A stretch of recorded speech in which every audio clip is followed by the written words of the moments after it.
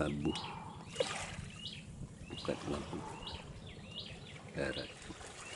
Jadi eh, perahu motor berputar sambil menurunkan jaring. Dalam radius sepanjang eh, jaring.